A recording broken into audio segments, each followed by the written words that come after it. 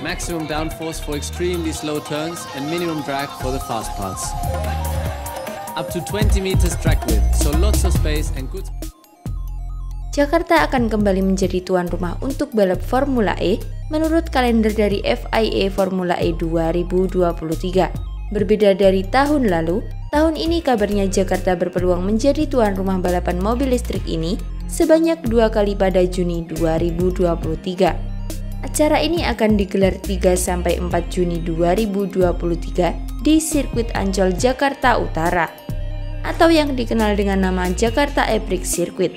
Sementara itu, pembuka dari acara tersebut nantinya akan berada di Mexico City pada 14 Januari 2023 dan ditutup di London, Inggris pada 30 Juli 2023. 2023 juga akan memiliki seri balapan baru, yaitu di Cape Town dari Afrika Selatan, Hyderabad dari India, dan Sao Paulo dari Brasil. Lantas bagaimana ya persiapan sirkuit Formula E Ancol dalam menyambut Formula E 2023 ini? Vice Presiden Corporate Sekretari PT Jakarta Propertindo atau Jakpro Syahrial Sarif memastikan jika Formula E Jakarta akan dipersiapkan sebaik mungkin. Lama tidak digunakan untuk balapan, kini keadaan Jakarta Epic Circuit mengenaskan. Namun Syahrial Sarif dapat menjamin jika semua kerusakan itu akan segera dibenahi jelang gelaran Formula E Jakarta. Sebagai informasi, Jack Pro telah menaikkan kerjasama dengan Formula E Operation atau FEO bahwa Jakarta Epic berlangsung tiga musim pada 2022 hingga 2024. Ia akan tetap digelar di Ancol, kata dia dalam pesan teks Minggu 13 November 2022 yang lalu. Sebagai informasi, Jakpro bekerja sama dengan PT Pembangunan Jaya Ancol guna menyewa lahan sirkuit di Ancol. Untuk penyelenggaraan tahun pertama, Jakpro perlu menyewa lahan selama 4 bulan. Sementara penyewaan di tahun kedua dan ketiga hanya sebulan. Formula E pertama kali terlaksana di ibu kota pada 4 Juni 2022 yang lalu. Kegiatan ini seharusnya pertama dimulai pada 2020 tapi ditunda akibat pandemi COVID-19 yang melanda Indonesia. Jack Pro lantas negosiasi ulang dengan Formula E Operation soal jadwal balap hingga biaya komitmen alias komitmen fee. Hasilnya penyelenggaraan Formula E Jakarta dilaksanakan selama tiga tahun berturut-turut, yakni 2020 hingga 2024. Syahrial menuturkan, Pihaknya tengah menggodok beberapa aspek sehubungan dengan acara balapan mobil listrik internasional ini. Misalnya mengenai konsep, bentuk kerjasama, dan mekanisme penyelenggaraan.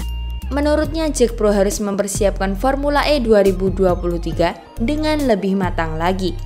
Pak PJ Gubernur mempersiapkan Jack Pro untuk mempersiapkan penyelenggaraan Formula E tahun depan. Terang Syahrial. Lantas, bagaimana menurut kalian dengan gelaran Formula E 2023 ini? Jangan lupa komen di bawah ya.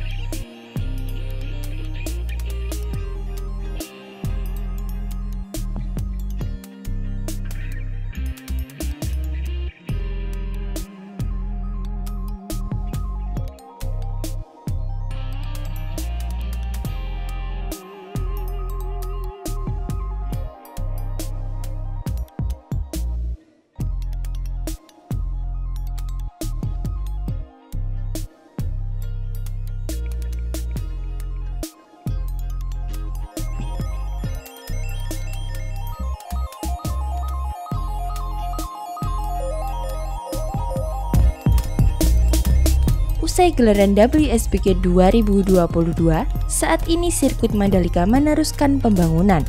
Tak hanya itu, diketahui saat ini sirkuit Mandalika kembali ramai. Sebagai informasi, Saat ini di depan tribun VIP Village Circuit Mandalika tengah dibangun panggung yang megah. Lantas, untuk acara apa ya? Hari ini panggung diketahui telah megah berdiri di depan tribun VIP Village. Para pekerja sibuk bekerja sejak beberapa hari yang lalu. Namun sayangnya, hingga saat ini belum diketahui dengan jelas acara apa yang akan digelar dan kapan pelaksanaannya. Namun yang pasti, ini adalah event balap lokal yang diselenggarakan MGPA untuk meningkatkan racing line di sirkuit Mandalika. Sementara itu Mandalika Grand Prix Association atau MGPA memastikan tidak ada perbaikan sirkuit untuk musim balap World Superbike 2023. Jadwal WSBK Mandalika kan Maret 2023. Tidak ada perbaikan lagi, kata Direktur Utama MGPA Priyandi Satria. Dorna Sport telah merilis jadwal balap WSBK tahun depan. Pertamina Mandalika International Street Circuit dipilih sebagai tuan rumah untuk balap seri kedua pada Maret 2023 setelah seri pembuka di sirkuit Phillip Island, Australia. Di balapan akhir pekan kemarin, sebagian besar pembalap cukup puas dengan kondisi permukaan trek yang halus dan tidak bergelombang. Kondisi ini jauh lebih baik dibandingkan balapan WSBK perdana di November 2021 yang lalu. Tapi ada juga pembalap yang mengeluh soal lintasan yang licin serta kotor. Namun kondisi ini tidak begitu dipersoalkan pembalap. Bahkan pembalap WSBK memaklumi sebab lintasan yang digunakan saat balapan akhir pekan kemarin merupakan aspal baru, sehingga daya cengkram terhadap ban belum begitu maksimal. Pembalap bilang itu wajar. Umur aspal kan baru dua minggu. Kalau sudah lama dan setiap hari kendaraan melintas, gripnya bisa semakin bagus. Jelas Priyandi Satria. Untuk menambah grip lintasan, MGPA memilih bukan dengan cara memperbaiki sirkuit. Menurutnya, kondisi lintasan yang licin bisa teratasi jika kendaraan roda 2 maupun roda 4 sering melintas di trek sirkuit Mandalika. Terkait dengan hal itu, MGPA sendiri telah menyusun sejumlah kegiatan di sirkuit Pertamina Mandalika setelah balapan WSBK ini. Sirkuit akan tetap digunakan untuk track day. Selain itu, di akhir pekan ini perusahaan otomotif asal Jerman BMW akan menggelar acara di sirkuit Mandalika. Kemudian di akhir tahun ini, ada banyak event yang akan digelar di sirkuit Mandalika. Dengan padatnya penggunaan sirkuit, grip lintasan diyakini akan semakin baik untuk WSBK 2023. Kondisi lintasan akan semakin bagus karena sering dilewati kendaraan, ujar Priyandi Satria.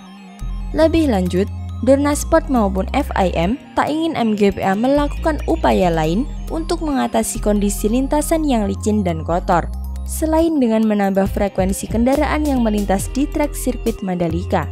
Hanya mau sirkuit dilewati motor. Kalau dicuci dan disikat, justru karet bekas ban motor itu bisa hilang. Tandas Priandi. Lantas, bagaimana menurut kalian? Jangan lupa komen di bawah.